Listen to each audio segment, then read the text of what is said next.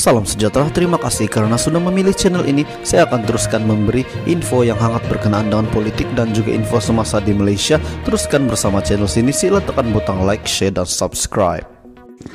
Salam sejahtera, selamat pagi seluruh warga Malaysia. Kali ini saya akan bawakan Anda berita terkini daripada Tengku Zafrul berkenaan dengan Laksana 44. Setahun Malaysia Prihatin, 6 fokus Kementerian Keuangan sepanjang tahun 2021.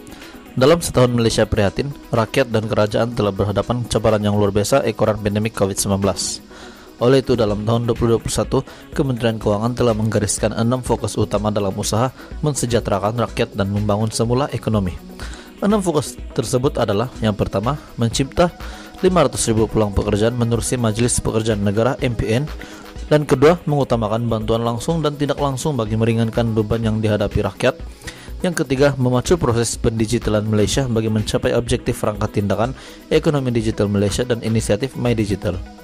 Dan yang keempat, men mentransformasi syarikat-syarikat berkaitan kerajaan JLC untuk menentukan kembali hala tujuh visi dan misi syarikat-syarikat terbabit terutamanya selepas negara dilanda pandemi COVID-19.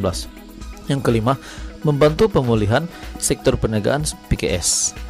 Dan juga yang keenam terakhir, mempercepatkan proyek yang mendorong pemulihan dan pembangunan ekonomi Malaysia.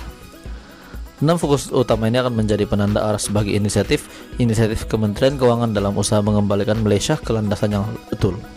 Laksana 44 setahun Malaysia Perhatian ini merupakan enam fokus utama Kementerian Keuangan sepanjang tahun 2021. Sekian berita pagi ini, terima kasih, selamat pagi, bye-bye.